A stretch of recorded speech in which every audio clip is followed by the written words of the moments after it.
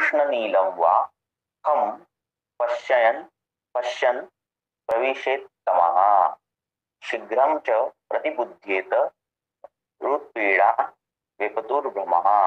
कार्श शावा शावारुण छाया शाव अरुण छाया मूर्छाये मारु मारुतात्मके। म्हणजे मारुत वायू वाकज मूर्छा जी आहे त्याचे लक्षण ते सांगत आहेत. तर काय सांगत आहेत? तर ते अरुण. अरुण वर्ण म्हणजे कुठला? तांबूस वर्ण. अरुणोदय म्हणतो ना आपण तो अरुण. सूर्य उदय असताना जो वर्ण असतो तांबूस तो. अरुण वर्ण कृष्ण नील म्हणजे काळा निळा वा. कृष्ण नीलम वा म्हणजे कृष्ण वा नीलम वा. म्हणजे काळा काळा निळा अशा पद्धतीचा. वा. खम खम म्हणजे ख म्हणजे आकाश. पश्चियन पश्यन म्हणजे पाहता पाहताना विशेषे तमहा विशेष करून तो तमावस्थेत मूर्छेमध्ये जातो. कोण? वातज मूर्छेमध्ये रुग्ण. हा?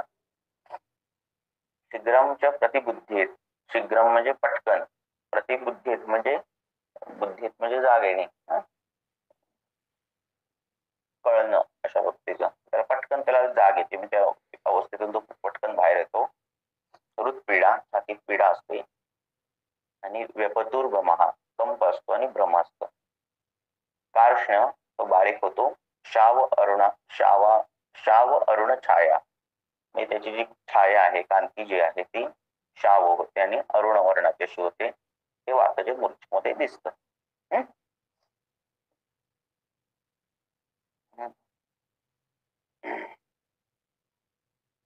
ठीक आहे मारुतोद्भवे मूर्छाये. सोपीच आहे त्या सगळ्या. मारुतोद्भवे मूर्छाये.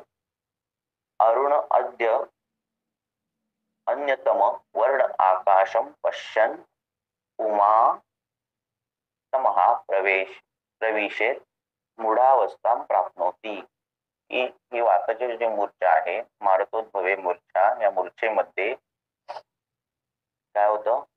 अरुण अन्यतम वर्ण अरुण आणि अन्यतम जे वर्ण आहेत म्हणजे कृष्ण निळ असे जे वर्ण आहे ते वर्ण वर्णम आकाशम पश्चन म्हणजे आकाशाला हा आकाशाला आकाशम पश्चन भात माणूस मूर्छा अवस्थेत पुमहा तमा प्रवेशेत मूर्छा अवस्थेत तम तम तमा अवस्थेत प्रवेश करतो असं ते म्हणतात. हा आकाश म्हणजे हे उपलक्षण आहे म्हणजे आकाश निळ दिसताच नव्हे. आकाश काळ निळ तांबडं दिसतं असं नाही. तर सगळ्या गोष्टी काळ्या निळ्या तांबड्या असं दिसतात. हे उपलक्षण आहे. आपण म्हणतो ना की मला सगळं जग पांढरं दिसतंय किंवा सगळं जग निळ दिसतंय. तर सगळं जग काही आपल्याला एका वेळी दिसू शकत नाही है ना? सगळं जग आपल्याला पांढरं दिसतंय सगळं जग आपल्याला निळ दिसतंय. म्हणजे ज्या ज्या काही गोष्टी आहेत दिसतात ज्या पृथ्वीच्या ज्या आपल्या दृष्टीच्या परिसीमेत येत आहेत. त्या सगळ्या गोष्टी त्या व्यक्तीला अरुण वर्णाच्या कृष्ण वर्णाच्या नील वर्णाच्या अशा दिसत आहेत. विशेषतः वायूला कुठलाही वर्ण नसतो. म्हणजे वायू हे अव्यक्त आहे. पण तरी पण वायूद्वारे वाताद्वारे निर्मित ज्या काही व्याधी आहेत त्या व्याधींचे वर्ण साधारणतः अरुण कृष्ण नील अशा पद्धतीचे असतात. अशा पद्धतीचे ते दिसतात. आणि हृदपीडा असते. छातीत दुखतं त्याला. वाताच्या मूर्छेमध्ये कंप असतो आणि भ्रम असतो. आणि शीघ्रम प्रतिबुद्धीत म्हणजे ती जी मूर्छा आलेली असते तो पटकन परत शुद्धीवर येतो. वायूच्या चंचलत्वामुळे हे घडतं. नंतर काय शीघ्रमच्या प्रतिबुद्धीत संज्ञा लभते. म्हणजे त्याला पटकन संज्ञा मिळते. पटकन त्याला कळ कळतं की आता आपण याच्यातून आलेलो आहोत मूर्छेतून बाहेर आलेलो आहोत अशा पद्धतीने. हृदपीडा व्यपतूर भ्रमा युत तथा कार्शादी स्यात. सर्पतू भ्रम या पद्धतीच्या सगळ्या गोष्टी कारशादी ह्या त्या त्या वाद्याच्या मूर्छेमध्ये पाहायला मिळतात. मूर्छायस्य तू दोषाच्या एव चत्वारो भेद तत्र वाचड वा मूर्छेचे जे वेग आहेत मूर्छे मूर्छा जे मूर्छा जी आहे तू दोषजा एव चत्वारो ती दोषांपासून चार भेगा चार तिचे प्रकार आहेत. तत्र वातज लक्षणं माह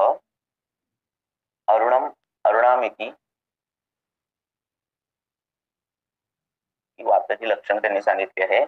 अरुण ही जी काही लक्षणं आहेत, अरुणादी रंग दिसतात ती सगळी तमहा प्रवेशेत अज्ञान व्याप्तो भवेत. तमहा प्रवेशेत म्हणजे अज्ञानाच्या, अज्ञानाची व्याप्ती होते. म्हणजे ज्ञान कळत नाही अशा पद्धतीने, म्हणजे चक्कर येते अशा पद्धतीने.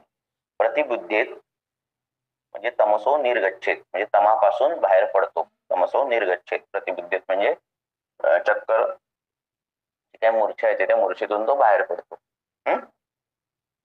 असं मूर्छेत होतो. पटकन तो त्याला मूर्छा येते आणि त्या मूर्छेतून तो बाहेर पडतो. त्याच्या छातीत दुखत आणि कंप असतो भ्रम असतो. आणि त्याची कांती ही शाव अरुण वर्णाची कांती अशी होते.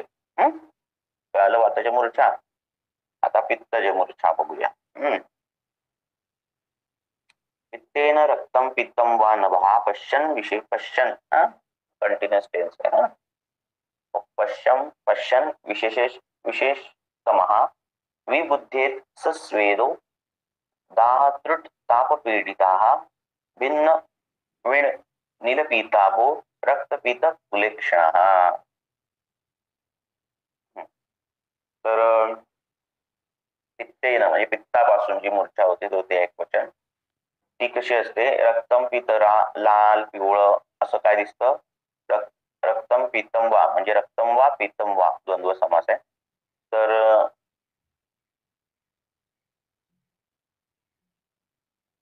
तर लाल किंवा पिवळं अशा पद्धतीचं कोणाचा माईक चालू असेल तो बंद करा. अशा पद्धतीचं नभ नभ पश्चन विशेषतः म्हणजे आकाश दिसायला लागतं. म्हणजे सगळ्या गोष्टी कशा पद्धतीने दिसायला लागतात. विबुद्धीत विबुद्धीत विशिष्टेन बुद्धीत. बुद्ध्या बुद्ध्या म्हणजे संज्ञा प्राप्त होणे. विशिष्ट पद्धतीने संज्ञा प्राप्त होते. कुठली विशिष्ट पद्धत आहे? सस्वेद म्हणजे घाम येऊन घाम येतो त्याला. संज्ञा प्राप्त होत त्यावेळी दाह त्रुट ताप पीडित आणि त्याला दाह असतो तहान लागते ताप ताप येतो. त्याने तो पीडित होतो. भिन्न भिन्न म्हणजे जो आपला हे आहे काय बरं? पुरुष आहे. ते भिन्न म्हणजे पातळ संडासला होते अशा पद्धतीने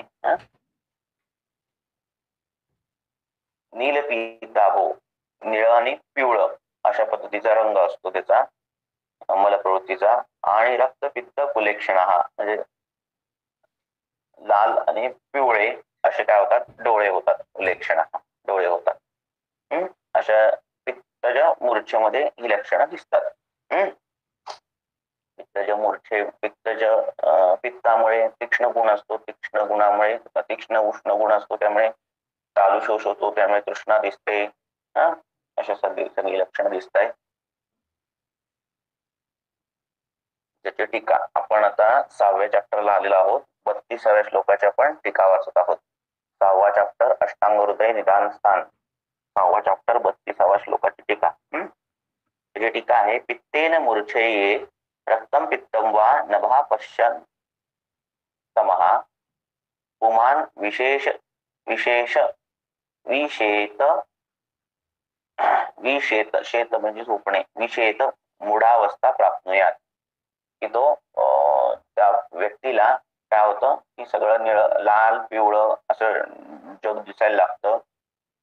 आकाश दिसायला लागतं आणि तो मूर्छावस्था प्राप्त करतो. सह सस्वेदम विबुद्धीत. की त्याची जी त्याला जी त्याला विबुद्ध म्हणजे तो ज्यावेळी ह्याच्यावर येतो काय येतो? शुद्धीवर येतो. त्यावेळी तो स्वस्वेद त्याला घाम आलेला असतो. संज्ञाम लभते आणि त्याला संज्ञा ही प्राप्त होते. म्हणजे तो शुद्धीवर येतो. तथा दाहादी पीडी पीडितस्तथा भिन्न विडादिका आणि तथा दहादी त्याला पिढा होतात. दाह तृष्णा ताप या पीडा त्याला होतात आणि आणि काय होतं? आणि मलप्रवृत्ती ही भिन्न पातळ होते, अशा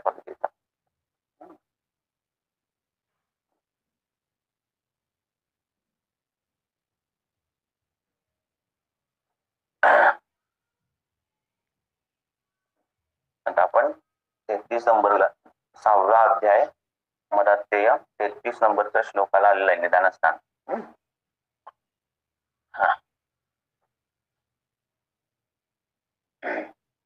कफेन हे झालं. ना त्याच्या हेमधली टिकावची हा.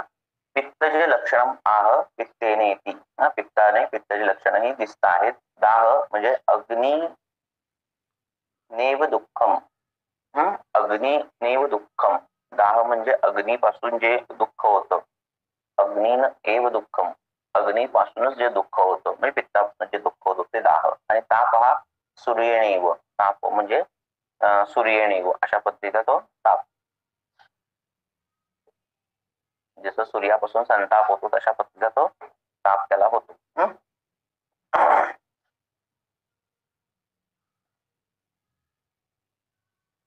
आता कफ कफज मूर्छा कफेन मेघ संकाशम पश्यन न का, पश्यन न आकाशमादि, आकाशम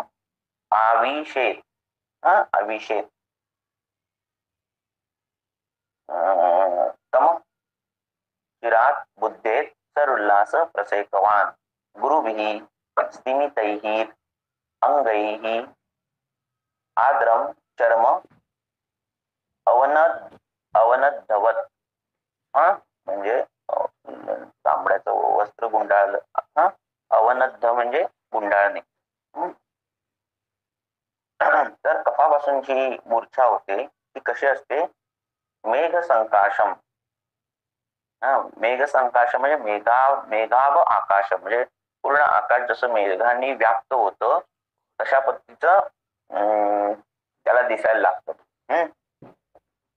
पांढरं दिसायला लागतं एकंदरीत सगळं. हम्म. पश्यन न आकाशमादि आकाशन पश्यन न आकाशम आविषेत म्हणजे आकाश जे आहे ते म्हणजे रेग्युलर आकाश दिसतं तसं त्याला आकाश दिसत नाही. तर मेघ संकाश दिसतं. मेघांनी व्याप्त झालेलं असं आकाश दिसतं. म्हणजे सगळं आकाश आणि मेघ एक झाल्यासारखं दिसतं. सगळं एकत्र असल्यासारखं दिसतं. तमस चिरात बुद्धीत आणि तो जो तम आहे ती मूर्छा जी आहे ती काय होते? चिरात बुद्धीत. खूप काळानंतर त्याला संज्ञा प्राप्त होते. खूप काळानंतर तो मूर्छेतून बाहेर पडतो. कुठल्या? कपज मूर्छेत रुल्लास प्रसेकवान त्याच्यामध्ये रुल्लास असतो प्रसेकवान असतो तोंडाला पाणी सुटत अशा पद्धतीचं. गुरुबीही आणि गुरुबी म्हणजे त्याला जडपणा वाटतो स्तमित हे थंडी अजून ताप आल्यासारखं होतं. अंग जड वाटतं थंडी वाजते अशा पद्धतीचं. अंगही आद्र चर्म चर्म अवनद्धवत म्हणजे की जसं चामडं आहे त्या अंगावर गुंडाळल्यावर कसं वाटतं? त्या पद्धती त्याला जाणवतं. टिकावरती कफेन मूर्छाये मेघम मेघाभ मेघाभम आकाशम पश्चयन तमहा आविषे चिरेण च बुद्धे संज्ञा लभते. की कफज मूर्छेमध्ये जे आकाश आहे ते मेघवत असं दिसतं आणि तो त्या आविषेत त्या मूर्छेमध्ये जातो. आणि चिरेन बुद्धीत ही ती जी संज्ञा त्याला मिळते ती फार वेळांनी त्याला संज्ञा मिळते. संज्ञा लभते. हम्म रुल्हास आदी मान त्याच्यामध्ये रुल्हास असतो. हम्म तथा आद्रेण चर्मणा अवनद्धो वेष्टित वेष्टित इव. तथा आद्रेण म्हणजे ओल कपडा ओला चाम चामडी चर्म चर्म जे कापड असतं ना? तर ते ओलं गुंडाळल्यावर कसं वाटतं? त्या पद्धतीने त्याला ते जाणवतं. कफज लक्षण आह कफज लक्षण आम्ही सांगत आहोत. कफन कफेने ती कफापासून. स्तैमितेही म्हणजे आद्रेही म्हणजे ओलं झाल्यासारखं वाटतं. आद्र चर्म आद्र चर्म म्हणजे ओलं चामड अवनव अवनधवत म्हणजे ते सगळं गुंडाळल्यासारखं वाटतं अर्थ यथाबुद्धी जनयती हा तर तुम्हाला जसं जाणवेल की ओलं चांबड गुंडाळल्यावर जे फिलिंग येईल ते तुमच्या बुद्धीनुसार तुम्ही तो ते ते तुम्ही अंडरस्टँड करू शकता. म्हणजे कशा पद्धतीने त्याला वाटेल कशामध्ये? मूर्छामध्ये ओलं चर्म गुंडाळल्यावर कसं वाटेल? ते तुम्ही जाणून घेऊ शकता. चला इथपर्यंत झालं. आता पस्तीसाव्या श्लोकाला आलोय आपण. सहावा चॅप्टर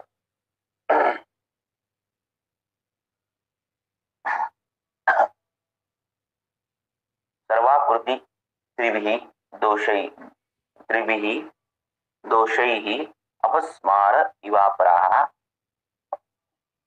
पातयति आशु निश्चेष निश्चेष्टम विना विभत्स चेष्टितैः। की सर्व कृती म्हणजे सगळ्या सगळी लक्षण असलेला स्त्रीदोषांपासून झालेला अपस्मार जो आहे तो कसा आहे? सॉरी मूर्छा जी आहे ती कशी आहे? अपस्मार इवापरा. अपस्मारासारखीच आहे. तो अपस्मारच आहे. सर्व दोषांपासून झालेली संनिपातिक मूर्छा जी आहे ती अपस्मारच आहे असं ते म्हणतायत. पाच पा पात येती आशु पात म्हणजे पडणे. आशु म्हणजे पटकन पडतो निश्चेष्टम चेष्टा रहित होतो. विना विना म्हणजे विना विना बिबिस्त चेष्टितेही बिबिस्त चेष्टा विना म्हणजे अपस्मारामध्ये ज्या काही चेष्टा होतात बिबिस्त चेष्टा ज्या काही होतात वाईट ज्या कृती तो करतो अपस्मारामध्ये चक्कर येऊन पडताना तेवढ्या कृती फक्त नसतात. बाकी अपस्मारासारखाच आहे असं स- म्हणजे सांगतात. स्त्रीदोष मूर्छा ही अपस्मारासारखीच आहे फक्त अपस्मारामध्ये ज्या चेष्टा घडतात त्या घडत नाही तिथे स्त्रीभिही दोष दोषही यो मूर्छायाः मूर्छाय सर्वकारः सो अपरो अपस्मार इव आशु शीघ्रमेव पुरुषम निश्चेष्टम पातयती किती दोषापासून झालेले मूर्छामध्ये सर्व काळ सर्व लक्षणं सो अपस्मारो अपस्मारासारखी इव इव आशु म्हणजे त्यासारखीच आशुकारी अशी लक्षणं असतात. शीघ्रमेव पुरुष तो पडतो निश्चेष्ट पडतो त्याच्या संज्ञा जातात अशा पद्धतीनं विना विविध चेष्टितही फक्त चेष्टा नसतात त्याच्यामध्ये. अपस्मारोत्थानी निंद्यानी चेष्टितानी वर्जित्वा अन्यत सर्व समानम। अपस्मारामध्ये ज्या निंदयुक्त चेष्टा घडतात त्या सगळ्या चेष्टा वर्जित्व त्या सगळ्या चेष्टा सोडून बाकी सगळं लक्षणं अन्य सर्व समान अन्य सगळी लक्षणं ही समान आहेत. त्याच्यामध्ये सन्निपात म्हणजे मूर्छेमध्ये. हम्म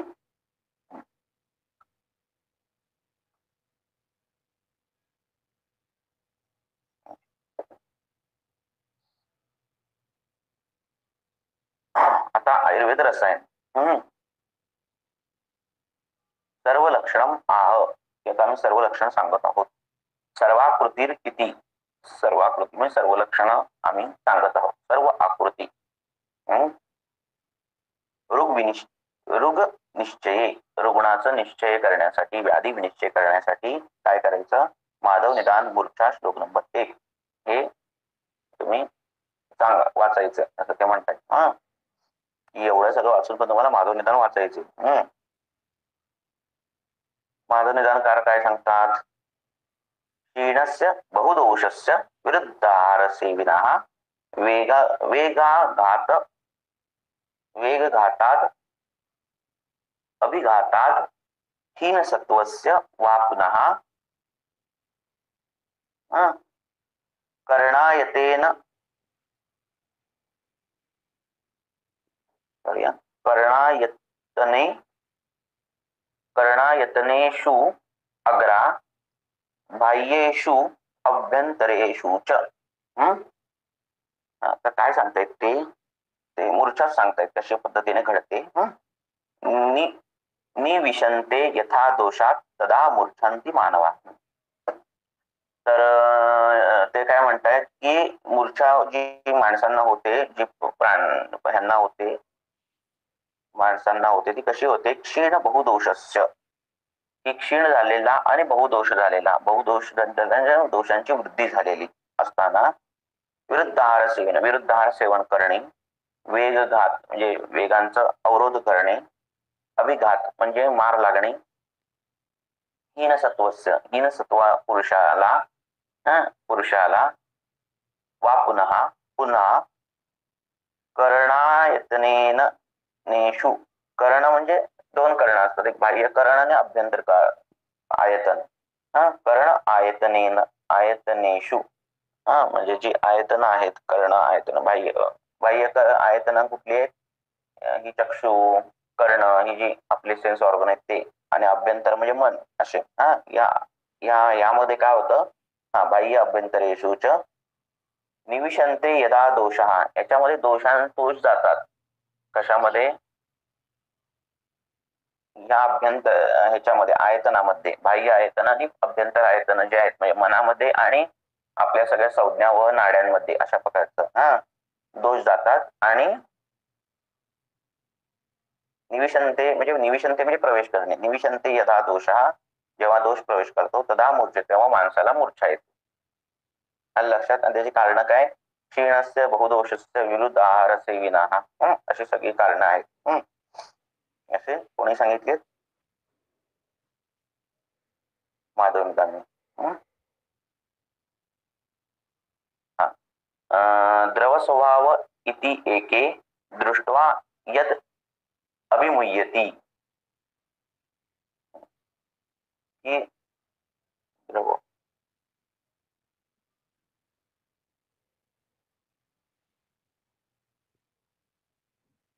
द्रव्य द्रव्य द्रव्य स्वभाव पाहिजे ना. द्रव्य स्वभाव इति एके की द्रव्याचा जो स्वभाव आहे त्याच्यातही इति एके दृष्टवा यद अभिमुयती की त्याच्यापासूनही मूर्छा येते असं माधव निदान सांगतात. पुढे आपण वाचूया म्हणजे कळेल.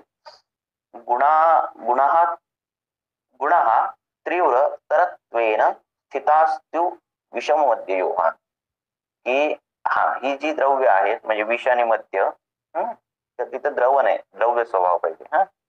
तर विष आणि मध्य मध्य यो म्हणजे पंचमी षष्टी द्विवचन आहे हा? षष्टी नाही सप्तमी द्विवचन आहे. की विष आणि मध्यामध्ये या त्यांच्या द्रव स्वभावामुळे काय होतं? त्यांचे जे गुण जे आहेत ते तीव्रतर असतात. विष आणि मध्याचे गुण तीव्रतर असतात आणि त्यांच्यापासून पणिमूर्छा येते. तर एव तस्मात ताभ्याम तू मोहो मोहो स्य श्याम ताम तथैर इति. की यापासून म्हणजे विषापासून मद्यापासून मध्यापासून ज्या मूर्छा येतात हा ते त्या त्या त्या त्या मोह विषापासून त्या त्या मध्यापासून मोह उत्पन्न होतो. हा मूर्छा उत्पन्न होते असं ते सांगतायत. हा त्याच्या गुणांचे तीव्र तर्क किती गुण तीव्र आहेत त्याच्यावर डिपेंड आहे. स्तब्दांग दृष्टी दृष्टी तू अश्रुजा गुड श्वासश्च मूर्छिता. अश्रुजा म्हणजे जी रक्तापासून येणारी जी मूर्छा आहे ती कशी लागते? रक्तज मूर्छा. हा? रक्तज मूर्छा जी आहे ती कशी असते? त्याच्यात गुढ श्वास असतो. म्हणजे श्वास जो एकदम डीप श्वास घेणारा व्यक्ती असतो आणि स्तब्धांग म्हणजे स्टिफनेस असतो अंगामध्ये. आणि डोळ्यामध्ये अशा पद्धतीचं रक्तज मूर्छा असते. नंतर मध्येन मध्यापासून जी होते ती विलंप शेते. विलंप विलंप प्रलाप माहिती तुम्हाला ना? तसंच विलाप विलप म्हणजे बडबडणे मोठ्या प्रमाणे ओरडणे अशा पद्धतीचं. मध्येन विलंप विलंब शेते म्हणजे शेते म्हणजे पडतो नष्ट विभ्रांत मानस हा. की त्याची विभ्रांत भ्रांत म्हणजे त्याचं जे काय विभ्रम विभ्रम त्याला होतो हा मनामध्ये त्याच्याने तो पडतो अशा पद्धतीचा हे मध्यापासून होते. गात्रा आणि विक्षिप विक्षेपण भूमो जरा यावन याती गात्रा आणि विक्षेप विक्षेपण म्हणजे फेकणे. हा हातपाय झाडतो. गात्र आणि सगळे गात्र जे आहेत ना हातपाय तो करतो काय? तो झाडतो. कुठे? भूमो जमिनीवर झाडतो. जरा जरा यावन यातीत म्हणजे जोपर्यंत ती मध्य अवस्था आहे हा जरा म्हणजे अवस्था जोपर्यंत ती अवस्था आहे यावन न यातीत ती जोपर्यंत आहे तोपर्यंत तो ते तसं करतो. हा गेल्यावर तो बंद होतो. ती अवस्था गेल्यावर तो हातपाय झाडाचे बंद करतो. असा अर्थ आहे. व्यपतू स्वप्न तृष्णा स्यू स्तम स्तमश्च विषमूर्चिते विषापासून जी मूर्छा होते त्याच्यामध्ये व्यपत्व आहे. स्वप्व्यपत्व म्हणजे कंप आहे स्वप्न स्वप्न आहे झोप निद्रा लागते तृष्णा आहे अशी लक्षणं त्याच्यामध्ये होतात विषमूर्छामध्ये. वेदितव्य वेदितव्य म्हणजे जाणणे काय जाणायचं? तीव्रतरम यथास्व विषलक्षण. ही की जशी विषाची लक्षणं तीव्र आहे हा? त्या पद्धतीची लक्षणं ते दाखवतं.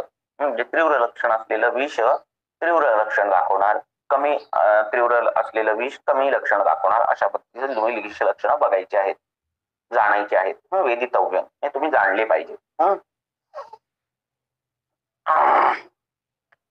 मूर्छा पित्ततमहा प्राया. की मूर्छा ही पित्तापासून आणि तमापासून प्राया होते. रज पित्त रज पित्त अनिलत भ्रमा अनिलत भ्रमा की अनिलत भ्रमा आहे की अनिलत भवा आहे? की मूर्छा जी पित्तापासून आणि तमापासून होते आणि पित्त आणि अनिलापासून जी होते ती रजबाहुल रजबाहुल असते. हा म्हणजे तमबाहुल कशाने होते? पित्ताने होते. तमोगुण हा पित्ताचा आहे. आणि वात पित्त ज्यावेळी एकत्र येतात त्यावेळी तो रजबाहुल्याने तृष्णा होते. असं. तमो वात कफात तंद्रा निद्रा श्लेष्मा तमोद्भवा. तम वात आणि कफ वात आणि कफापासून तंद्रा निद्रा श्लेष्म ही गोष्टी होतात. म्हणजे वातपित्तापासून जी होते ती तमोबहुल असते. यो अनायास शमो देहे प्रभूत श्वास वर्जिता क्लम स इति विज्ञेयम निद्र्यार्थ प्रमाण क्लमाचे डेफिनेशन दिली. क्लम म्हणजे काय? तर कोणत्या श्लोकाची टीका आहे? हा श्लोक नसेल कदाचित तुम्ही जर पीडीएफ पीडीएफ वाचत असाल तर. पुस्तकात आहे. हेमाद्रीने माधव निदान काय वाटतं ते? माधव निदान माधव निदानामधले सगळं लिहिलेलं आहे. पीडीएफमध्ये कदाचित नसेल. म्हणून तुम्हाला ते मिळाली नसेल. असो ते मी वाचतो थोडीच राहिले. तर क्रमाचे डेफिनेशन काय दिले यो अनायास श्रमोदेह काही कष्ट न करता श्रमोदेह थकवा शरीरात ज्यावेळी होतो प्रभूत श्वास वर्जिता मोठ्या प्रमाणात श्वास माणूस घेतो. आहे ना पीडीएफमध्ये? मग काय? पस्तीस नंबरचा श्लोक आहे ना? सन्निपातिक मूर्छा त्याच्याखाली आहे बघा. हेमाद्रीच्या टीकेमध्ये खाली आहे. हम्म.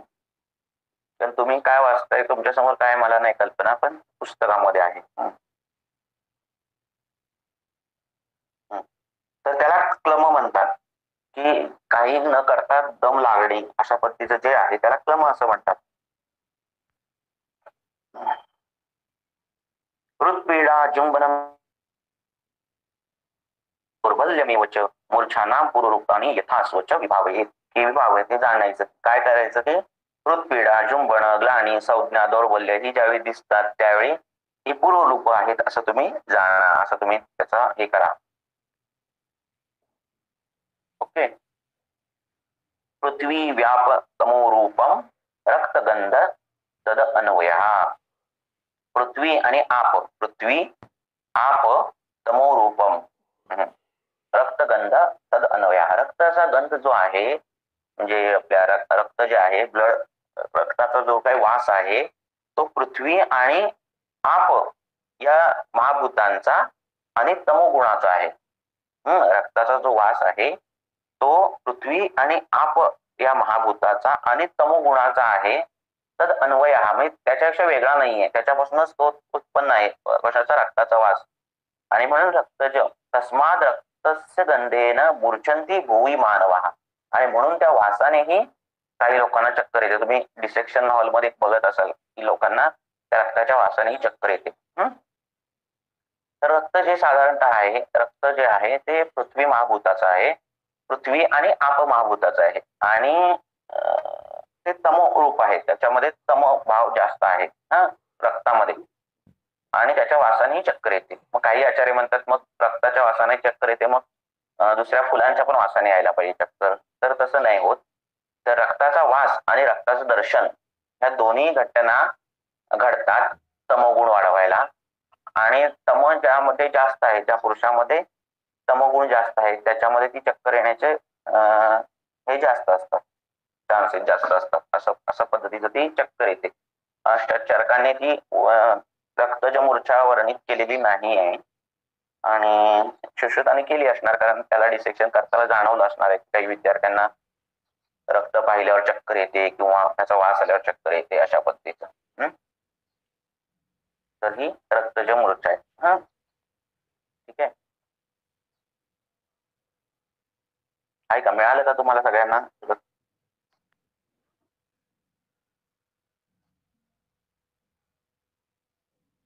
तुम्ही फर्स्ट इयरमध्ये बघितलं असेल काहींना डिसेक्शन हॉलमध्ये गेलं आणि तो वासाला रक्ताचा की चक्कर येते. किंवा काहींना ते रक्त बघितलं तरी चक्कर येते. तर तो बघणं बघून चक्कर येते हा तो द्रव्य प्रभाव आहे जो इथे मगाशी सांगितलेला आहे. कुठलंही ते द्रव्य पाहिल्यावर चक्कर येणे हा द्रव्य प्रभाव असतो. आणि तो द्रव्य प्रभाव पण आहे रक्तामध्ये आणि त्याचा गंध प्रभाव पण आहे रक्तामध्ये. म्हणजे रक्ताला पाहून चक्कर येऊन पडतात लोक आणि नंतर त्यांना जाग येते अशा पद्धतीचा. तर तो त्याचा जो गंध आहे रक्ताचा तो तमो तम बाहुल्य आहे त्या गंध. म्हणजे त्या गंधामध्ये बाकीची पण महाभूत आहेत. पण ज्यावेळी एखाद्या महाभूताचे गुण ज्यावेळी अधिक्याने दाखवले जातात त्याचा उत्कर्ष जास्त होतो त्यावेळी तो गुण जास्त घ्यावा लागतो. म्हणजे कळालं? त्यामुळे बाकीची जरी महाभूत असली तरी पृथ्वी बाहुल्याने आणि आप बाहुल्याने त्याच्यामध्ये पृथ्वी पृथ्वीला हे सांगितलंय. दर्शन वाच वाचाल तुम्ही तरी पृथ्वीला तम तमोगुणाची पृथ्वी सांगितलंय. आणि हे जे आहे आप जे आहे ते सत्वगुणाचं आहे साधारणतः. त्या पृथ्वीचा तमोगुण हा आधिक्याने दिसतो रक्तामध्ये. हा? ह्याच्यामध्ये गुण सांगितलेले आहेत दर्शनामध्ये. सांख्य दर्शन वाचाल त्यावेळी तुम्हाला ते कळेल. हा? तर अशा पद्धतीनं ते घडतं. म्हणजे कसं असतं आता आपल्याला वेळ आहे सांगतो तुम्हाला. की ज्यावेळी सांख्य दर्शनवाले आले सांख्य कारिका श्रीकृष्णाने लिहिलेल्या हे आहे ग्रंथ आहे त्याचं सांख्य दर्शनाचं सांगितलेलं आहे. तर त्या सांख्यवाल्यांनी सांगितलं की हे वैशेषिकाचे जे नऊ पदार्थ आहेत ते आम्ही काय मानत नाही. ते म्हणतात की हे जे नऊ पदार्थ आहेत वैशेषिकांनी सांगितलेले त्याच्यापेक्षा ते पदार्थांचं पण काहीतरी कारण आहे. त्या पदार्थांच्या पण आधी काहीतरी गोष्टी आहेत काहीतरी आधी गोष्ट आहे ती म्हणजे प्रकृती आहे. आता तुम्हाला तमगुण आला म्हणून सांगतो. शॉर्टमध्ये तर हे आहे काय म्हणतात? ते काय म्हणतात? सांगते की प्रकृती हे एकमेव कारण आहे सगळ्यासाठी. प्रकृती म्हणजे काय? प्रकृती म्हणजे ही अशी गोष्ट नाही. आपण जी वातपित्त प्रकृती म्हणतो ते नाही. पित्त रक्त मेड आश्रय.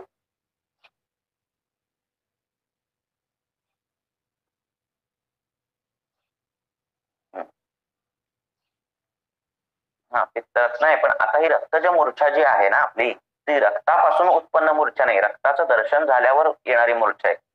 हा त्यामुळे इथला विषय वेगळा आहे. आलं का लक्षात? हम्म तर त्यासाठी मी तो तमोभाव भाव सांगतोय. हा. रक्तपित्ताचा आशय असे भाव राहू दे तो इथं रक्त दूषित अन्न खाल्ल्यानंतर येणारी मूर्छा नाहीये. रक्ताचं दर्शन केल्यानंतर रक्ताचा वास घेतल्यानंतर येणारी मूर्छा आहे. तर मग ते सांख्य फटाफट सांगतो. सांख्यकार काय म्हणतात की जी प्रकृती आहे त्यापासूनच सगळं उत्पन्न झालं. प्रकृती म्हणजे आपली वातपित्त अशी नाही. प्रकृती ही अशी गोष्ट आहे जी हे सगळं निर्माण व्हायच्या आधी हे सगळं जग निर्माण व्हायच्या आधी ही उपस्थित होती आणि नंतरही राहणार आहे. आणि ती मूळ मूळ प्रकृती आहे. आणि त्या प्रकृतीमध्ये सत्व रजतम हे तिन्ही दोष आहेत. तिन्ही गुण आहेत. अशी खूप गुण आहेत तिच्यात. म्हणजे फॉर एक्झाम्पल घर आहे ना तर घरात सगळं सामान आहे. फ्रीज आहे टीव्ही आहे सगळं आहे. पण घरात अंधार आहे. लक्षात येतं पण त्या घरात किंवा कार आहे कार. आणि कारमध्ये सगळ्या गोष्टी आहेत तुमच्या. पण ती कार स्थिर आहे अंधारात आहे अशा पद्धतीची प्रकृती आहे तिच्यामध्ये सगळं गुण आहेत सगळं ती निर्माण करू शकते ती प्रकृती. किती गोष्टी हवं ते करू शकते. तिच्यामध्ये जो नाही असा कुठला गुण नाही असं ती प्रकृती आहे. आणि ती प्रकृती जी आहे तिच्यामध्ये फक्त एकच गुण नाही की तिच्यामध्ये चेतना नाही. ती स्वतः सगळं तिच्यामध्ये आहे पण ती काही करू शकत नाहीये. अशी ती प्रकृती आहे. असं सांख्य दर्शव सांगतात की त्याच्यामधून सगळी उत्पत्ती झाली. पण मग ती प्रकृती नेहमी तिला तिचा जो सत्वगुण आहे तिला त्या सत्वगुणाला नेहमी प्रकाश प्रकाश हवा असतो. त्या सत्वगुणाला तिच्यातल्या. आणि मग ती प्रकाशाचा शोध घ्यायला लागते प्रकृती. आणि मग ही प्रकृती सांगताना त्यांनी पुरुषाला सांगितलेला आहे. आणि मग तो एक पुरुष आहे की तो पुरुष पूर्ण सत्वमय आहे आणि त्याच्यात खूप प्रकाश आहे. पण त्याच्यात कुठलाही गुण नाही. लक्षात आलं का? म्हणजे तो कुठलीही निर्मिती करू शकत नाही तो काही करू शकत नाही. ही प्रकृती आहे ही तमो बहुल आहे. आणि हा जो पुरुष आहे तो रज बहुल आहे. आणि हा जो ही जी प्रकृती आहे ती काही करू शकत नसल्यामुळे ती त्या प्रकाशाला प्रकाशाला जवळ घेते पुरुषाला जवळ घेते. हा पुरुष हा प्रकाशमय आहे एकदम आणि सत्वमय आहे आणि तो मग त्या प्रकृतीच्या जवळ जातो. असं ते वर्णन आहे आपलं जग कसं निर्माण हे आत्ताच जे काही सायन्स आहे जे फिजिक्स आहे फिजिक्सचे जे काही लॉ आहेत आणि त्याच्या पटीचं हे सायन्स आहे ऍक्च्युली हा. म्हणजे मी नंतर त्याच्यावर बोलीन खूप डिटेल तर मग ती तो पुरुष जातो प्रकृतीकडे. ते दोघं एकत्र येतात. आणि हे कसं एकत्र येतात की जसा आंधळा आणि लंगडा एकत्र जातात ना की लंगडा म्हणतो मला मला चालता येत नाही म्हणून मी तुझ्या डोक्यावर बसतो मी तुझ्या खांद्यावर बसतो आणि आंधळा त्याला खांद्यावर बसवतो. आणि लंगडा असं सांगतो रस्ता इकडे जा तिकडे जा. आणि तो आंधळा तो जसं सांगतोय वर बसून तसा तो जातो. तशा पद्धतीचे प्रकृती पुरुष एकमेकांच्या पुरुष त्या प्रकृतीच्या अंगावर वर बसतो. आता सगळं गणित सुरू होतं. आता पुरुषाला जे काही पुरुषामध्ये नव्हतं गुण नव्हते वेगवेगळे ते गुण त्याला दिसायला लागले प्रकृतीचे. ठीक? आहे आणि प्रकृतीला काही करता येत नव्हतं प्रकाशाअभावी किंवा तिच्यामध्ये जी चेतना नव्हती ती चेतना तिला मिळाली. त्यामुळे प्रकृतीच्या गुणांमध्ये उत्कर्ष होतो. म्हणजे सत्व रज तम हे गुण नाचायला लागतात. सगळे गुण हे व्हायला लागतात. हा. आणि मग ते गुण प्रकृतीचे हे नाचायला लागल्यावर तो जो सत्व गुणात्मक जो हे आहे पुरुष रजन आहे. सत्व गुणात्मक जो पुरुष आहे हे सत्व गुणात्मक म्हणण्यापेक्षा जो प्रकाशमय असा जो पुरुष आहे तो ते तिचं ते नाचणं तिच्या जे गुण एवढे सगळे जे गुण आहेत त्याला तो प्रभावित होतो तो पुरुष. आणि मग त्या पुरुषामध्ये ज्याच्यामध्ये कुठलाही गुण नाहीये त्याच्यामध्ये कुठलाही दोष नाहीये त्या पुरुषामध्ये सत्वा रज सत्वापासून रजापासून आणि तमापासून या तिन्ही दोषांपासून दोष उत्पन्न होतात त्या पुरुषामध्ये. आणि तो पुरुष दोषयुक्त होतो. तिन्ही दोष तिन्ही गुण त्याच्याने दोष होतात त्याचे हा? म्हणजे तमापासून त्याला त्याला त्याच्यात दोष निर्माण होतात. तमगुणासून. रजा रजगुणातून त्याच्यात दोष निर्माण होतात. आणि सत्वगुणातून त्याच्यात दोष निर्माण होतात हा. म्हणजे जे आत्ताचं जे मॉडर्न सायन्स जे म्हणतो अँझायटी म्हणतं तर ते अँझायटी पण तीन प्रकारचे आहेत. इगो अँझायटी इगो अँझायटी आणि सुपर इगो अँझायटी असं अशा दोन तीन अँझायटी आहेत. हा. की एका जी जो तमो भाव आहे तमोभाव तमोतून दोष उत्पन्न होतो. त्या व्यक्तीला सतत तो इंद्रिय आसक्त असतो त्याला विषय हवे असतात फक्त. हा. व्यवहार व्यवहाय अधीन असतो त्याला बाकीचं काही कळत नाही. हा? आणि तो व्यवहार ह्या त्या मार्गाने कारण ते सहज सुख आहे. त्याच्यामध्ये काही कष्ट करावं लागत नाही. ते सहज सुख प्राप्त करण्याच्याच मागे तो असतो. हा तमगुणातून उत्पन्न झालेला दोष आहे. रजगुणातून उत्पन्न जो दोष आहे त्याला व्यवहार नको असतो त्या माणसाला. हा? म्हणजे राजकारणी तुम्ही डोक्यात घेऊ शकता. की ते एका एकाच गोष्टीमध्ये त्यांना रस असतो. हा? की मला लोक चांगलं कसं म्हणतील? मला लोक माझी नेहमी प्रशंसा कशी होईल? मला नेहमी लोक माझी तारीफ कशी करतील? नेहमी माझं नाव कसं येईल पेपरमध्ये? नेहमी मी सतत प्रकाश जोतात कसा राहील? हे जे ऍक्टर आणि ही जी लोक आहेत त्यांचा तो रजदोषातून उत्पन्न झालेला दोष आहे. हा? रजदोषातून.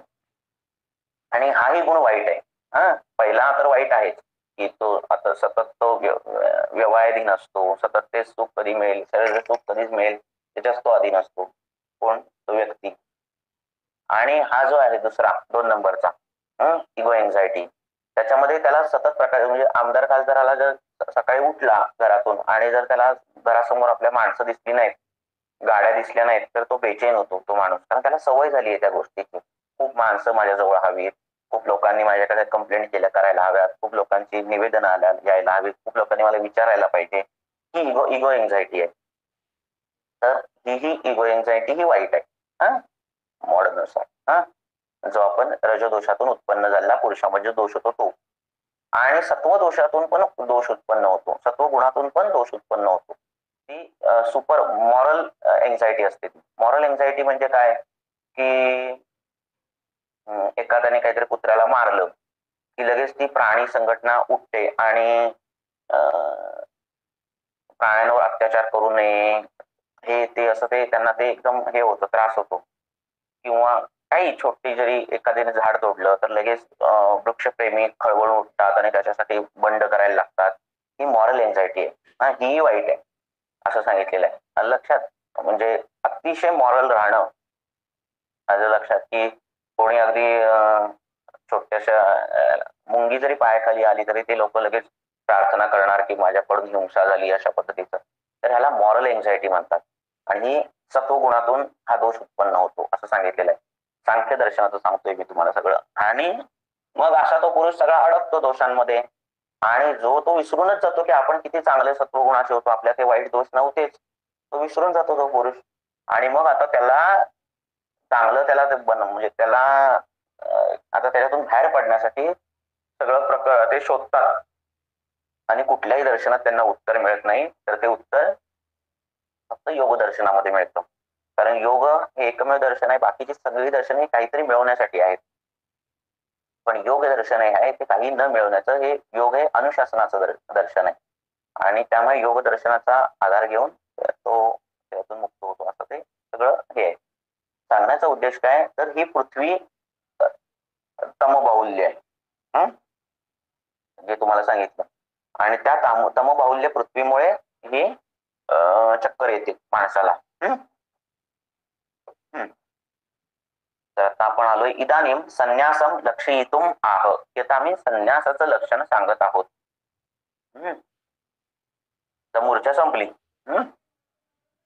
लक्षात आलं तुम्हाला? रक्तपित्ताचं? रक्तपित्ताची मूर्छा. पित्ताची मूर्छा.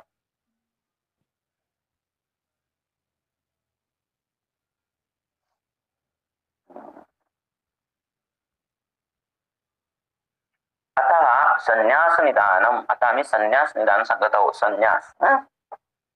संन्यास काय आहे?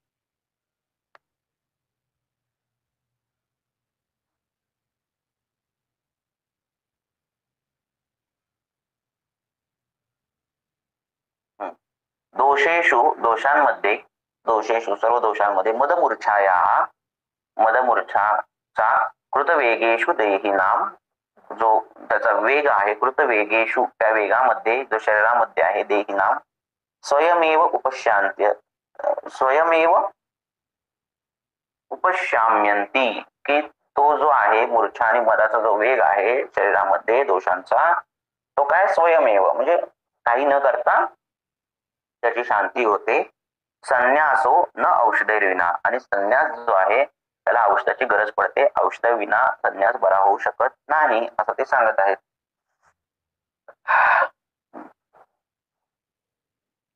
मदाश्च मूर्छयाश्च मदमूर्छाया हा द्वंद्व समास आहे. हा? कृतवेगेशु दोषेशु सत्सु स्वयमेव. की जो वेग आहे दोषांचा तो काय आहे? स्वयमेव औषधम विना साम्यंती की औषधाशिवायही तो वेग कमी होऊ शकतो. की मूर्छा जाऊ शकते. असं सांगत आहेत ते. संन्यास हा पुनर विना न शाम्यंती की संन्यास आहे. हा जो पुन्हा औषधांशिवाय जाऊ शकत नाही. म्हणजे याला औषधाची गरज पडते. असं ते सांगत आहे मद मूर्छायो औषध भेदान मद मदभेदा अपि मूर्छा भेद भेदतु एव एन उक्ता। त्याला काय आहे? की काय सांगितले? मद मूर्छा योग औषध वेद की मूर्छा मद मूर्छांचा जो औषधांचा जो भेद आहे म्हणजे औषध देण्याचा जो हे आहे हा तर त्याविषयी यांनी इथं सांगितलेलं आहे. म्हणजे मद मूर्छामध्ये औषध द्यायची गरज पडत नाही. आणि संन्यासामध्ये त्याची गरज पडते. हा औषधांमधला भेद त्यांनी सांगितलेला आहे. मदादिनाम औषधम विना निवृत्ती माम. की मदादींची जी औषधं दिली जातात त्यांची औषधं सोडून निवृत्ती होते. कोणाची? मदादिनांची. हा पण ह्याची होत नाही. हम्म दोषेशु इति. सन्ना संन्यास औषध निर्व निर्वर्त्य तू आह त्वम आह निर्वर्त्य निर्वर्त्य त्वम आह संन्यास इति की आता संन्यासाबद्दल ते सांगताय संन्यासाचं निर्वर्तन कसं होतं हे आता ते सांगतायत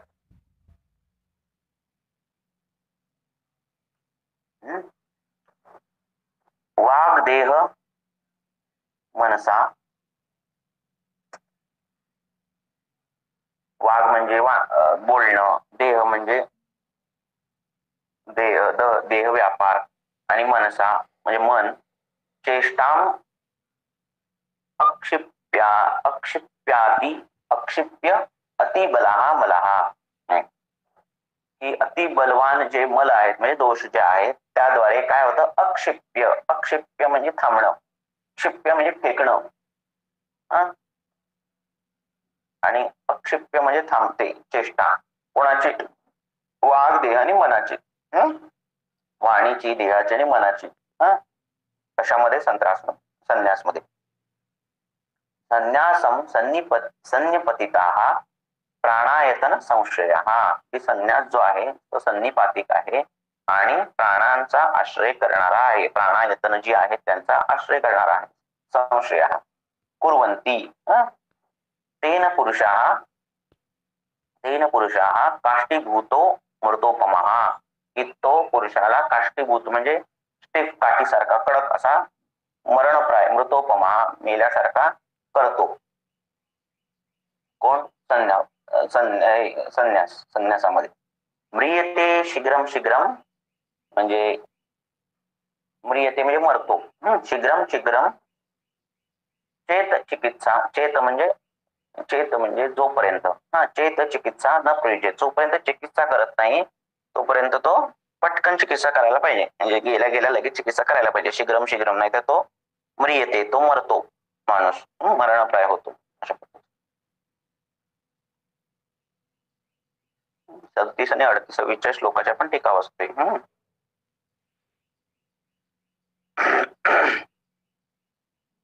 वा देहश्च मनश्च तेषां चेष्टा यथा स्वलक्षणा मला मला वात कफा सन्निपतिता काय सोपं आहे की देह वाणी, देहाच्या, त्यांच्या चेष्टा, त्यांची लक्षणं वातपित्त कफाद्वारे हे होतात. सन्निपातिताः, संताः, त्रयाः, एकेकाः, यो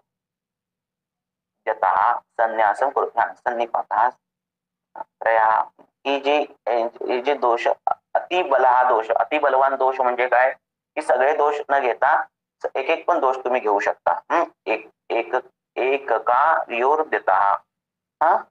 तीन नंबर काय गेले योर दिता योर दिता संन्यासम कुरवंती त्याप्रमाणे संन्यास होते. किंभूता कशा प्रकारे? अतिबलस्तता प्राणायतन संशयता ही. विशेषेण हृदयाश हृदयाचा आश्रित करून जे दोष आहेत अतिबलवान जे दोष आहेत ते हृदयाचा आश्रय करून काय करतात? संन्यास निर्माण करतात. तेन संन्यासेन पुरुषा काष्टीभूता स्थाणुपुड्य कल्पहा तेन म्हणजे संन्यास त्या संन्यासाने ते पुरुष काय करतात? संन्यासाने पुरुषाला काष्टीभूत करतात. काष्टीभूत करतात म्हणजे स्थाणू. स्थाणू म्हणजे स्थिर. हम्म स्थिर. कुड्याकल्प म्हणजे स्थिर झालेली जसे कुड्याकल हे स्थाणू कुड्याकल्प हा एक न्याय आहे. स्थिर झालेलं जसं लाकूड असतं त्याप्रमाणे ते काष्टीभूत होत.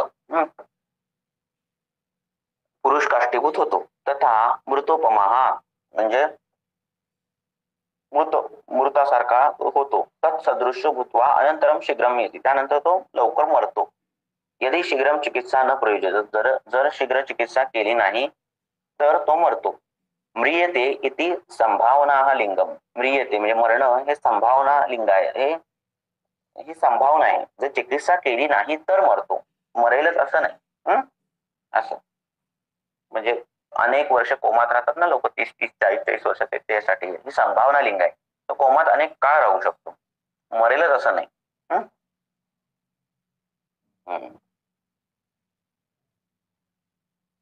संन्यासस्य संप्राप्ती माह वाग्देह मनसाम इति. हं? आम्ही संप्राप्ती सांगितली वाणी देह आणि मनसामधली हा.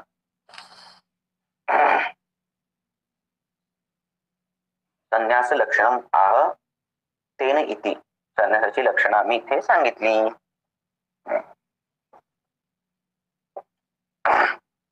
आता पुढचा. शीघ्रम चिकित्स शीघ्रम चिकित्सान आजीवेत इति. अत्र एव उदाहरण. उदाहरणार्थम आह की शीघ्र चिकित्सा करण्यासाठी जगण्यासाठी जी शीघ्र चिकित्सा आपण करतो शीघ्र चिकित्सा जीवेत जगण्यासाठी जी शीघ्र चिकित्सा करतो इति ही अत्र इथे इथेच एव इथेच उदाहरणाने सांगत आहोत. हं? शीघ्र चिकित्साने कसा तो जगेल हे नाही तर मी उदाहरणाने सांगत आहोत. अगादे अगाधे ग्राह ग्राह. अगा अगाधे ग्राह बहुले सलील सलीलौ लौघे सलीलौघ इवातटे संन्यासे विनिम विनिमं निमंजंतम नरमाशु निवर्तयेत. निमंजंत म्हणजे बुडणे. हा. वि विनिमंजन विशिष्ट पद्धतीने बुडणे अशा पद्धतीने. हा. नरमाशु निवर्तयेत इति संज्ञा हा की काय होतं? की अगाध म्हणजे ज्याला हे नाहीये ज्याला लिमिटेशन्स नाहीत असा अगाध. हा काय अगाध? की ग्राह बहुले ग्राह म्हणजे मगरी. हम्म ग्राह म्हणजे ग्राहाचा अर्थ आहे ग्रह धातू आहे. ग्रह म्हणजे पकडणे. हम्म. तर काय म्हणतात ना एखादा गुण एखाद्या व्यक्तीला इतका ऍक्युरेट बसतो की त्याला तो गुणच त्याचं नाव होतं. तशा पद्धतीचं मगरीचं नाव ग्राह आहे. हा? ती मगर जी आहे ना तिचा जबडा जो आहे असा. तुम्ही डिस्कवरी चॅनल बघत असाल. तर त्याचे तो जबडा असा जो कर असा करायला तिथे खूप मसल्स नाहीत ताकदवान. म्हणजे मगरीचं जे असं तोंड आहे ना ते असं जर सेलोटेपने जरी बांधलं मगरीचं तोंड असं बंद असताना सेलोटेपने बांधलं तर तिच्यात एवढी ताकद नाही की ती असं असं करेल तोंड. सेलोटेप तोडेल एवढी त्या ताकद नाही अजिबात.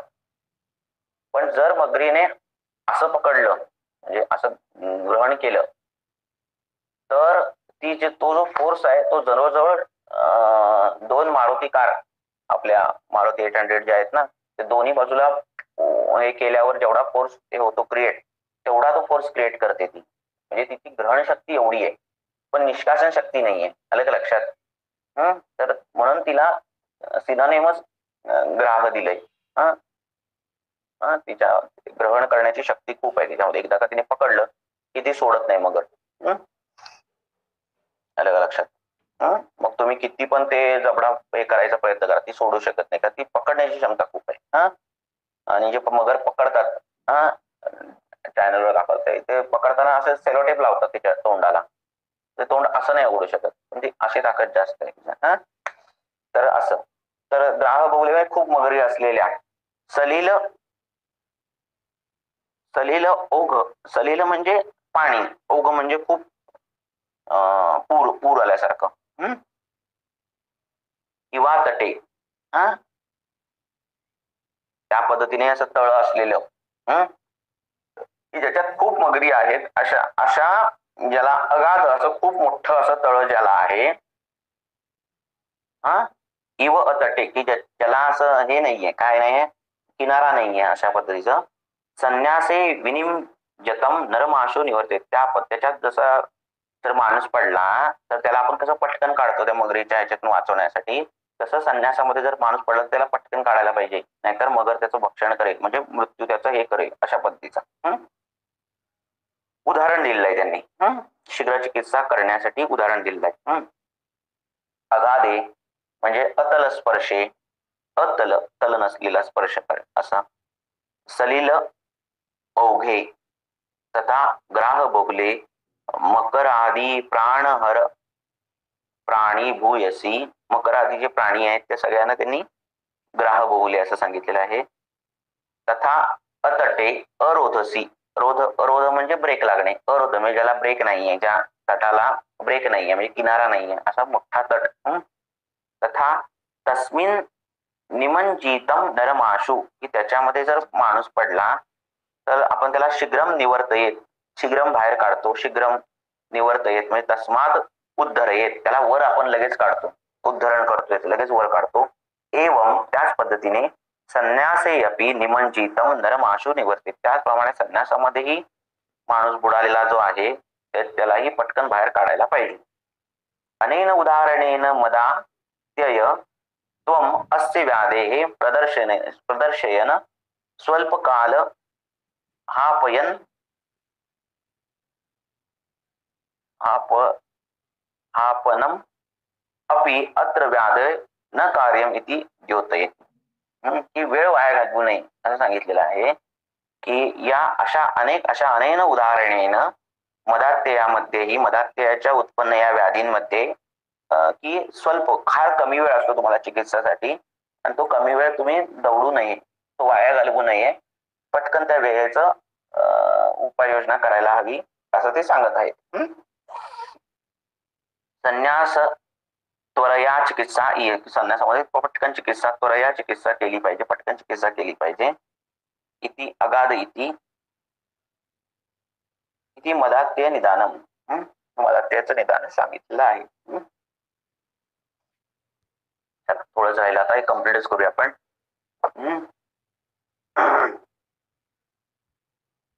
इदानीं मदात्य निदानत्वान् मद्यस्य मद्य नैव उपसंहार पुरवण आह. की आम्ही त्याचे निदान निदानत्व मद्यस्य मद्यनैव मद्यनैव मद्यापासून जे मद उत्पन्न होतो त्या सगळ्याचा उपसंहार म्हणजे कन्क्लुजन आम्ही ते जसं कन्क्लुजन पुरवण आहोत त्याचं आम्ही आता कन्क्लुजन सांगत आहोत तुम्हाला. करून सांगत आहोत.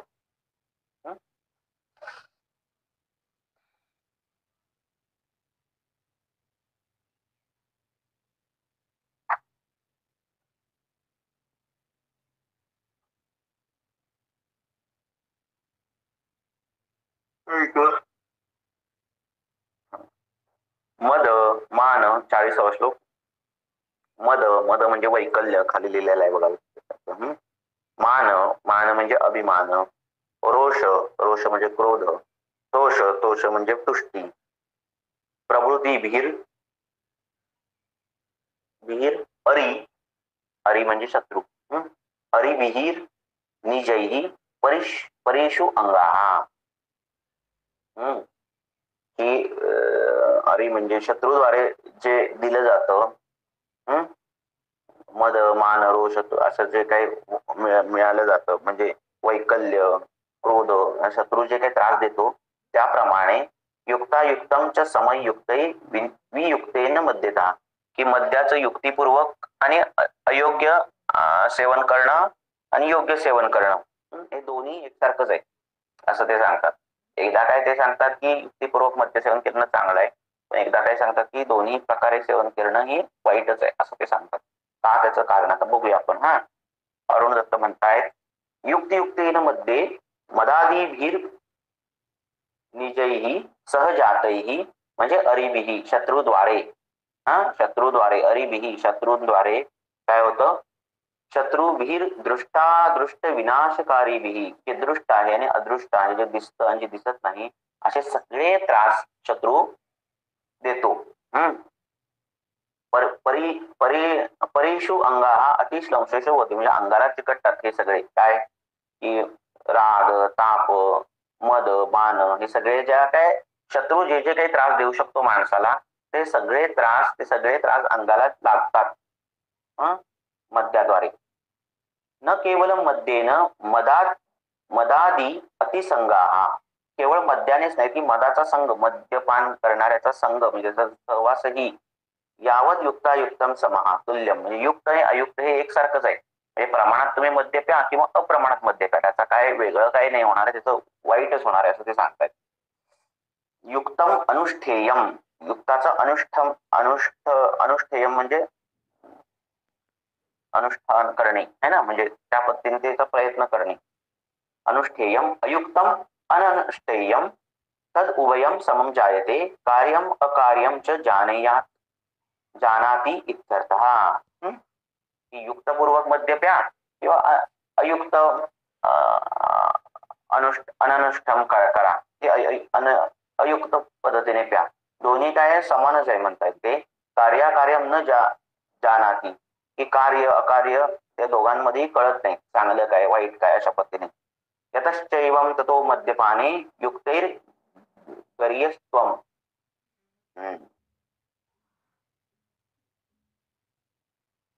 ही सांगितलेली आहे पूर्वी. एक युक्ती सांगितली की यतश्चैवम ततो मद्यपाने युक्ते गरीयसी. युक्तयुक्त मद्यपान केले करणं हे श्रेष्ठ आहे. हा? गरीयस्त्वम श्रेष्ठ आहे. युक्त असं एक काहींनी सांगितलेलं आहे की युक्तपूर्वक मद्यपान केलं श्रेष्ठ आहे. युक्तिश प्राग एव दर्शिता. युक्ती काय आहे की आम्ही आधी सांगितलेली आहे. प्राग एव दर्शिता. आधीच तुम्हाला सांगितलेली दाखवलेली आहे. असं ते सांगतात. हम्म. आर्यात द्वितीय दल भवलक्षम भवलक्षम प्रतिनियम अवगम्य उभयत्र अपि उपगीती वदंती यती यण समास आहे ना? यती म्हणून यती होणार. यती अंशकैही गदितही गदित म्हणजे बोलणे. गदित. वद धातू आहे ना? तर गदितैही म्हणजे बोलण्याद्वारे काय अंश? हे अंशिक बोललेलं आहे. काय बोललेलं आहे? उभयत्र अपि उभयत्र म्हणजे काय? की योग्य प्रकारे मद्यपान करणं अयोग्य प्रकारे मद्यपान करणं. हे दोन्हीही काय आहे? सांगितलेलं आहे.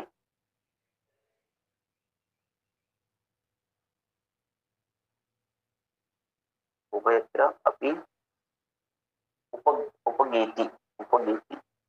गीतीर नियत नियत नियतांश करिता हा जो श्लोक आहे तो कुठल्या तरी ग्रंथातला आहे. हा?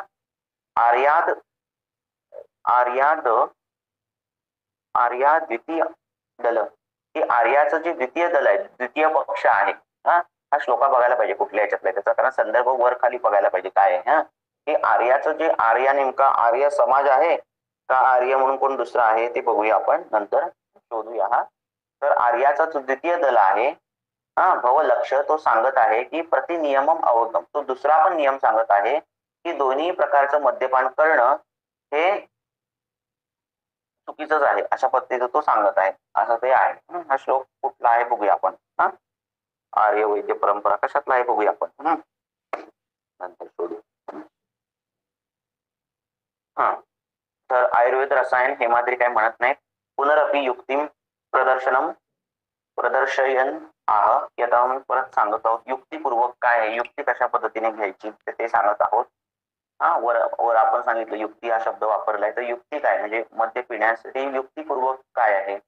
तर बलत काल देश सात्म्य प्रकृती सह आयाम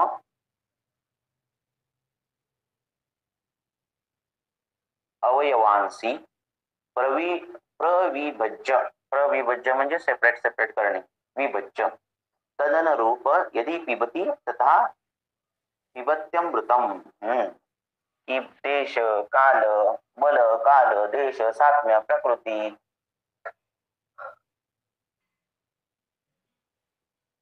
प्रकृती. सहायाम या सगळ्याचा विचार करून वयाचा विचार करून सेपरेटली विचार जर केला तर प्रविभज्य तदनुपम यदि पियेत त्या पद्धतीने जर विचार केला सेपरेट सेपरेटली तर त्या पद्धतीने जर मद्य पिलं गेलं तर ते काय आहे? पिबती अमृतम. इथे अमृत समान आहे. प्रविभज्य म्हणजे बुधवा विमृश्य. म्हणजे विचारपूर्वक त्याचा बारीक बारीक तुम्ही विचार केला. तर पिबती तथा पिबती अमृतम. तो जो पितोय तसं काही तो अमृतच पितोय पिबती म्हणजे पितोय तथा पिबती अमृतम. झालं त्याची टीका आहे बलत्कारादीन प्रविभज्य बुधवा बुद्धिया विमृश्य तद अनुरूप तद योगम यदि पिबती तो अमृतम पिबती। मध्य व्याजेन अमृतम आस्वादयती इत्यर्थः आर्या।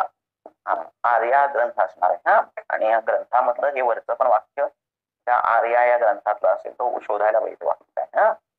तर झाली आपली टीका वाचून तर अशा पद्धतीने त्यांनी सांगितले की मद्याचं सेवन चांगलं मद्याचं सांगताना त्यांनी एक महत्वाची गोष्ट आहे त्यांनी सांगितली की युक्तीपूर्वक मद्य पिलं तर ते अमृता समान आहे. पण युक्तीपूर्वक पिणं ही जी पद्धत आहे ती माणूस ज्यावेळी प्यायला लागतो त्यावेळी त्याच्यामध्ये मद उत्पन्न होतो आणि ती जी एक लिमिट आहे युक्तीची जी एक लिमिट आहे ती किती प्यायला हवं किंवा काय? तर ती लिमिट नेहमी क्रॉस होणार आहे. आणि तुम्ही युक्तीपूर्वक पिऊ शकणार नाहीयेत असं ते सांगत आहे. तर म्हणून युक्ती आणि अयुक्ती हे दोन्ही एकसारखंच आहे. ते त्यामुळे शक्यतो त्यांनी प्यायचं नाहीच असंच सांगितलेलं आहे. आलं का लक्षात? हा? तर शक्यतो ते पिणं हे वाईटच आहे. म्हणजे सूत्रस्थानात तर सांगितलंय मद्य विक्री संधानम आदानम हे जे सांगितलेलं आहे ना श्लोक की मद्याची विक्रू विक्री करू नये मद्य गिफ्ट देऊ नये. मद्याचे मद्याचं दान करू नये अशा पद्धतीने सांगितलेलं आहे सूत्रस्थानात. तर ते वाईटच आहे. हा मद्य देणं पिणं आणि विक्री करणं गिफ्ट देणं म्हणजे शॅम्पेन बिम्पेन गिफ्ट दिले जाते ना. तर ते पापकर्मच आहे असं सांगितलेलं आहे सूत्रस्थानामध्ये. तर अशा पद्धतीने आपला मद्य मदात्यय असं आपला संपलेली आहे टीका.